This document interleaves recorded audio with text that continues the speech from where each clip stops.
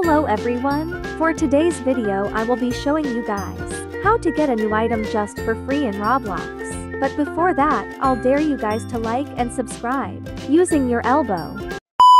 Go ahead and search up this game called Pancake Empire Tower Tycoon. This is what it looks like, and it's created by Fidelity.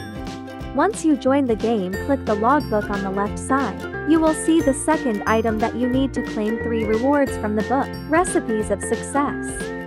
Now follow me over this way and you will see here the 3 rewards you need to claim.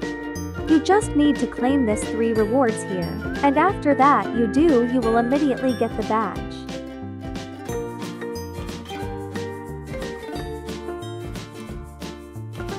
There you go, this is what the item looks like. It's a pancake pajamas. You can find this item in your t-shirt accessories. What do you guys think of this item? Let me know in the comment section. That will be the end of this video. Don't forget to leave a like, and I will see you next time. Goodbye my beautiful pixies.